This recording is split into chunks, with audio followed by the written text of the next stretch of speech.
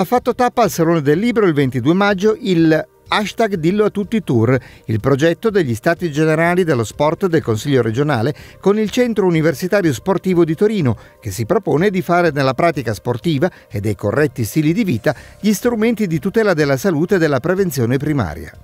Tra le iniziative, una campagna di informazione e promozione dei corretti stili di vita in cui sono coinvolti i giovani e il mondo universitario anche dal Salone del Libro, diciamolo a tutti, corretti stili di vita e buona alimentazione Presidente. È la terza tappa del Dillo a tutti, questa mattina straordinaria, abbiamo appena ascoltato la nutrizionista dei danni che può fare il cibo e dei benefici che può apportare il cibo se noi iniziamo a sviluppare eh, appunto quella consapevolezza del cibo che, che mangiamo. Il cibo aiuta l'attività fisica, l'integrazione tra attività combinato disposto e quindi l'integrazione tra attività fisica fisica e attenzione alimentare possono portare straordinari benefici l'obiettivo proprio principale che una persona, un cittadino deve sapere che la salute non è solo sua, appartiene a tutti, è un bene quindi collettivo. Nella nostra Costituzione si parla della tutela della salute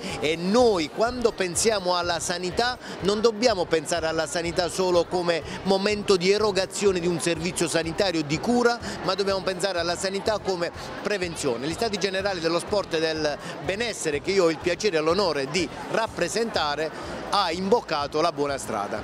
Riccardo Delicio, quale messaggio oggi dal Salone del Libro? Beh, intanto direi che in un posto straordinario come questo in cui Torino oggi ha dimostrato di avere una grandissima appetenza di cultura, di cultura a 360 gradi, oggi che lo sport faccia parte di questo messaggio mi sembra molto molto interessante. Ancora una volta la Regione Piemonte ha avuto il coraggio di investire su progettualità che coinvolgeranno tutto il territorio. Dirlo a tutti è un messaggio di grandissima opportunità per cui un messaggio dove l'attività fisica e l'alimentazione insieme sono il farmaco a costo zero, beh io credo che questo debba essere spinto il più possibile perché credo che sia l'unica maniera per aiutare realmente la sanità pubblica a risparmiare miliardi di euro. Io credo che ormai scientificamente è stato provato, la politica ha preso a cuore questo progetto, noi dello sport non possiamo che metterci a loro disposizione, perciò davvero diciamolo a tutti, fare attività fisica serve moltissimo eh, dai bambini alla quinta età. Eh, de devo dire che il Custorino con i suoi 100.000 universitari con tutto il mondo accademico sta facendo tutto quello che è possibile perché sul territorio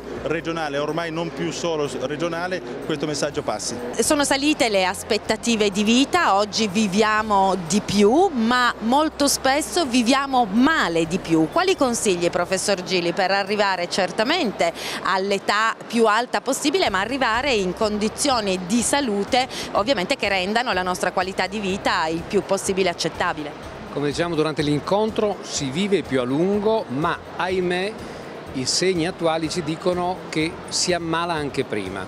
Quindi vuol dire che ci sono due segnali in controtendenza. Non devono spaventare perché in effetti la vita si è allungata parecchio e si allungherà ancora. Ma direi che il consiglio che va dato non possiamo delegare la nostra salute ad altri.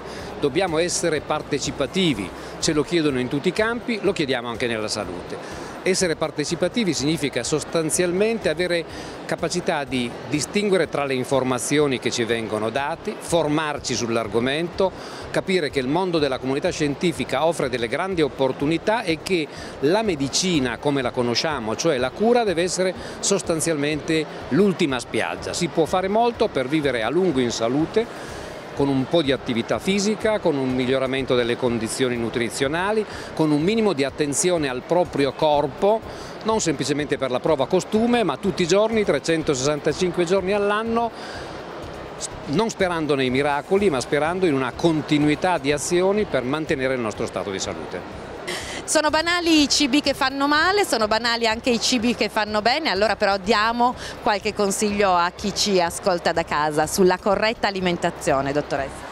Sì, buongiorno. Eh, in realtà sì, sono banali, nel senso che si mangia sano come si mangiava una volta, non ci sono novità. Il messaggio che oggi deve passare non è tanto sui cibi sani, sui cibi non sani, ma il messaggio che deve passare è quanto diversamente impatta sulla nostra condizione di salute il mangiare male o il mangiare bene.